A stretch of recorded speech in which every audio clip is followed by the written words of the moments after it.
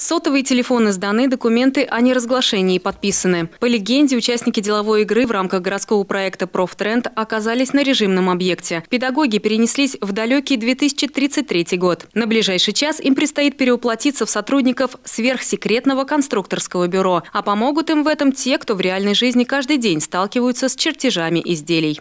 Мы сегодня пригласили действующих инженеров-конструкторов, инженеров-технологов и настоящего главного конструктора. Педагогов поделили на три команды, каждая из которых должна спроектировать деталь. После создания чертежа участникам предстоит пройти несколько этапов согласования изделия. Победителем будет считаться то конструкторское бюро, которое выполнит все требования и первым получит печать главного конструктора. Для школьников, наверное, когда я была сама школьником, я понимаю, что когда просто вот нудная лекция, она вообще никому не нужна. Мы выбрали специально такую игру, как бы э, специально, что на каждой стадии как квест. Сейчас это очень модное, наверное, направление, как квест, когда каждый разгадывает. На каждой стадии мы э, специально разработали роли у каждого из нас. И специально придумали легенду, специально придумали задания, специально придумали такие детальки не такие несложные. Новый формат деловой игры в рамках городского проекта «Профтренд» сначала предложили опробовать на себе учителям и заместителям директоров школ. И уже только потом выйти на целевую аудиторию учеников 9-10 классов, учитывая все пожелания и замечания педагогов.